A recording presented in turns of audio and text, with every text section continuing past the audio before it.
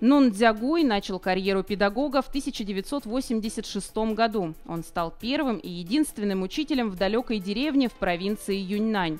С середины прошлого века здесь размещали зараженных проказой китайцев. Поселение изолировали от внешнего мира, и никто не решался приближаться к нему. Я помню, как в первый день родители привели детей.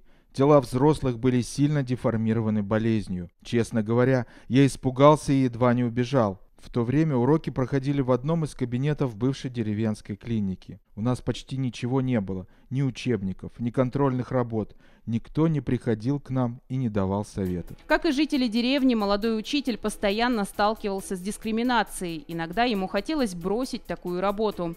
Но его самоотверженность принесла плоды. Более сотни детей смогли уехать из поселения и продолжить образование. Некоторые из моих учеников сами стали учителями, а также врачами, полицейскими или госслужащими.